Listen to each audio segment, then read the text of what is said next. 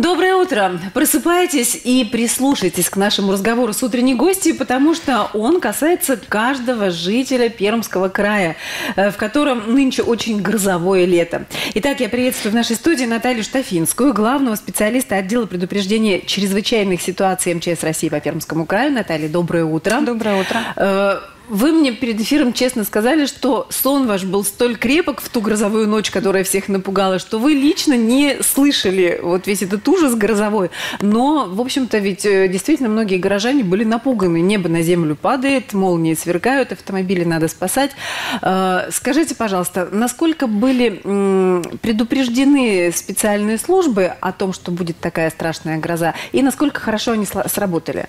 Да, надо сказать о том, что а, те прогнозы, которые которые поступают к нам от э, пермского филиала ЦГМС, они э, доводятся до всех органов местного самоуправления Пермского края.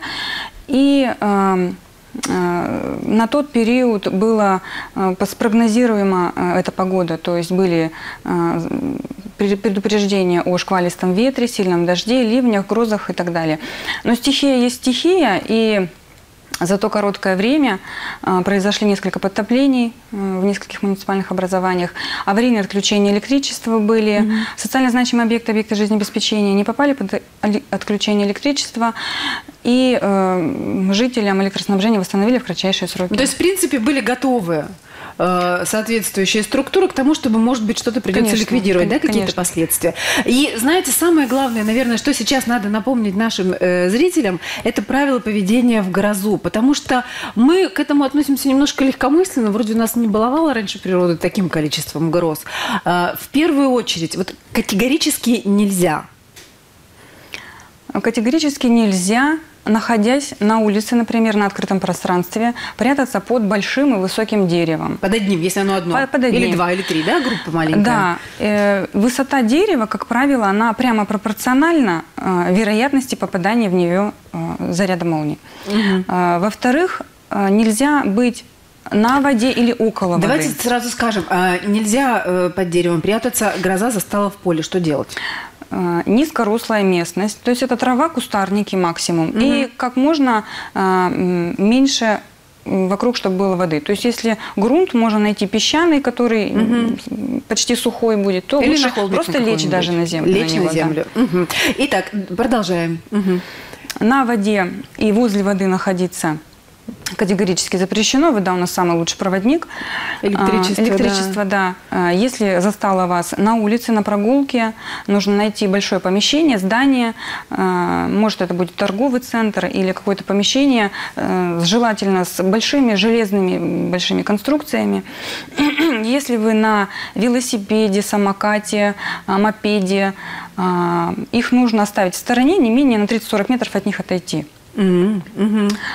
Если вы находитесь дома, э, городской житель, если это необходимо закрыть все окна, двери. А скажите, пожалуйста, почему их надо закрывать? Ведь так хочется впустить свежий грозовой воздух. Влажность и перепад температуры, опять же, вот этот водник, проводник, э, которым является вода, они будут притягивать а, потоками воздуха э, в открытое пространство. Угу. То есть с потоком воздуха можно притянуть вот, э, Разряд электричества, да? да? Угу.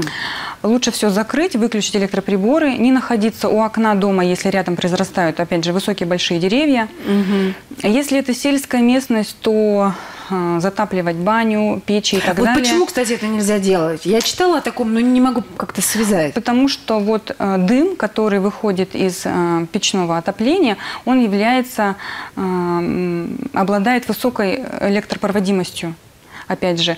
И вот эта труба, э, которая, ну, можно провести параллель с высоким да, одиноким да, да. деревом, угу. она спровоцирует, опять же, точно так же может произойти. такое же точное явление. Угу. А если баня уже затоплена, а гроза началась, что делать? Срочно тушить как-то? Ну, желательно. Загасить, да, да печку? Да. Ага, все понятно. Наталья, скажите, пожалуйста, э, много еще гроз свалится на нашу голову в ближайшем будущем? Ну, мы, конечно, будем надеяться, что нет, но готовыми нужно быть. То есть все равно есть в прогнозах э, синоптиков ну, конечно, да, такая информация? Конечно. Спасибо вам большое. Все-таки желаю э, вам спокойного э, дежурства, Спасибо. а нам просто спокойного лета и сухого хочется. Хорошего дня вам, Наталья. Спасибо. Э, вам, уважаемые, напоминаю, что в гостях у нас была Наталья Штафинская, главный специалист отдела предупреждения чрезвычайных ситуаций МЧС России по Пермскому краю. Гроза – это не шутки, и будьте добры, поберегите себя, выполняйте все требования безопасности в это красивое, но опасное природное явление.